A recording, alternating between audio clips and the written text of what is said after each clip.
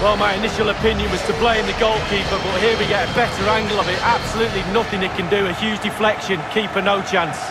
Let's have another view of that goal.